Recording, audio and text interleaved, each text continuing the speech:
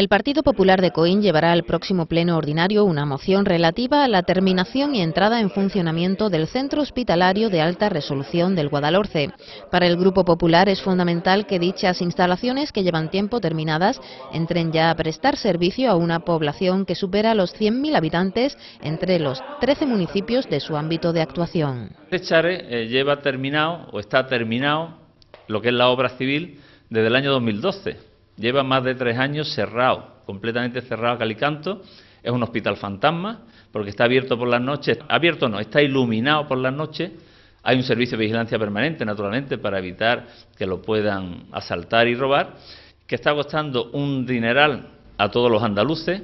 pero que está cerrado, que está cerrado. Una de las claves en las que incide la moción de los populares es la forma en la que se produzca esa entrada en funcionamiento. Desde el PP se pide que el centro abra sus puertas de forma completa y con todo el personal necesario para prestar el servicio integral para el que está programado. Lo que pedimos en esta moción es que se abra ya de una vez, punto número uno, que se abra ya de una vez. Yo creo que el maltrato que viene sufriendo esta comarca ya está bien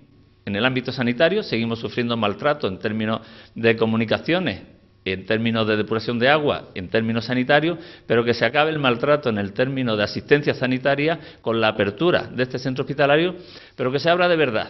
y de una forma completa. Ahí eh, se está hablando que pueden hacer falta unos 300 profesionales para mantener ese centro hospitalario garantía de poder prestar la asistencia sanitaria que se merece el Guadalhorce. Por lo tanto, lo que pedimos a la Junta de Andalucía es que deje de castigar a esta comarca, que ya está bien desde el año 2005 en el que se comprometió el presidente señor Chávez, luego fue el señor Griñán, luego fue la señora Díaz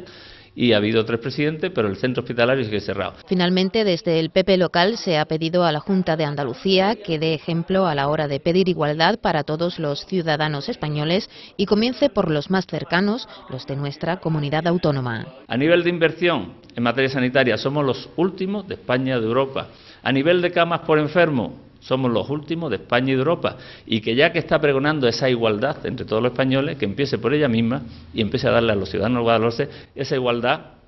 con el resto de ciudadanos de España. Que tengamos una asistencia sanitaria de primera, porque somos españoles de primera, porque pagamos un impuesto de sucesiones que no pagan la mayoría de los españoles, pero que en Andalucía sí se paga, y que con esos 31.000 millones de euros, digo bien, 31.000 millones de euros que maneja la Junta de Andalucía todos los años, le dediquen parte a una asistencia sanitaria primera, que es la que merecemos los ciudadanos de Guadalhorce.